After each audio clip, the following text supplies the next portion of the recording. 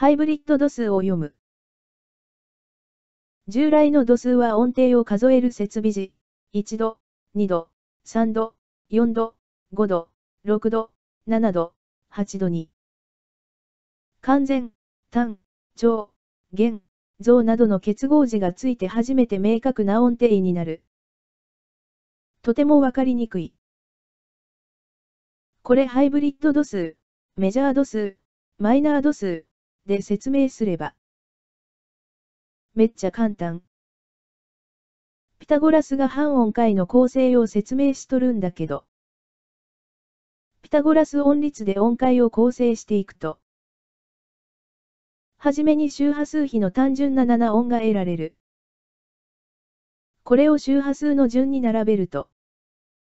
イニサヨゴロナの超音階、メジャースケール、メジャー度数の音階。古代から中世までの音楽理論は12音音階ではなくて、7音音階で考える。だから1度から8度の度数名と解明ドレミフアソラシドが対応する。ピタゴラス音律では、超音階よりもさらに外側に拡張して、12音の半音階、クロマチックスケール、はイブリッド度数の音が得られる。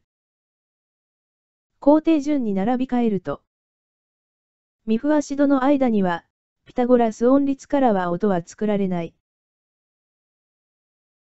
度数を1度、13度、半音の数で付け直せばよかったんだが。完全、単、長、減、増などの結合字をつけちゃった。日本語の用語だけじゃない。元は英語。ほぼ直訳だ。完全 perfect。超メジャー。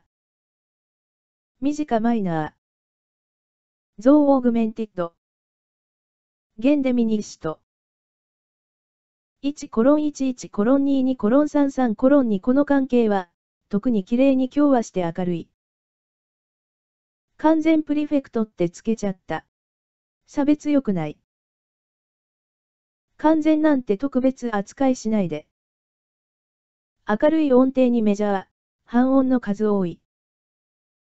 暗い音程にマイナー、半音の数少ない。ってつけとけばよかった。完全はすべて超メジャー。弦、像はすべて短マイナー。超、単の2種類で良いのだ。メジャー度数とマイナー度数できれいに区分されとる。明るいメジャー度数が落ち込むと暗いマイナー度数になる。ハイブリッド度数表記は1から12ときれいに対応し、明るい暗いの漢字は感覚だけでなく数学的に説明される。